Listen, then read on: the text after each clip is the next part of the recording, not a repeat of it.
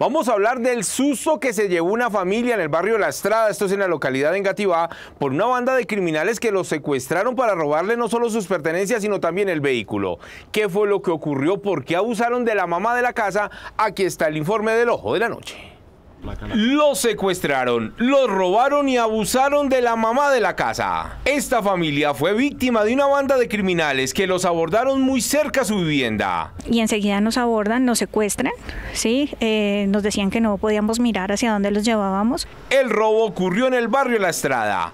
Dicen las víctimas que los llevaron a diferentes puntos de la localidad mientras les quitaban todo lo que tenían.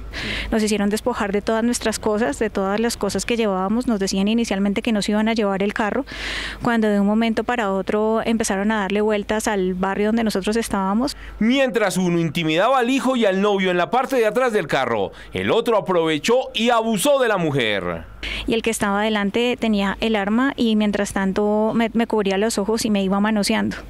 Me cogía pues mis partes íntimas, mis senos y lo hacía en repetidas oportunidades con la excusa de que me tenía que esculcar para saber qué más me podía robar. Fueron 20 o 30 minutos de angustia para esta familia. Dicen que después de ver una zona oscura, los delincuentes los abandonaron.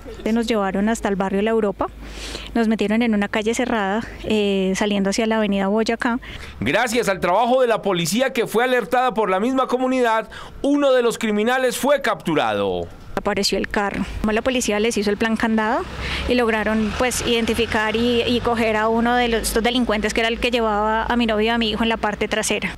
La policía busca a los dos bandidos más que alcanzaron a escapar. Se dice que se movilizan en una camioneta pequeña de color blanco. Se espera que con la captura realizada por los agentes de Engativá se identifique al resto de la banda.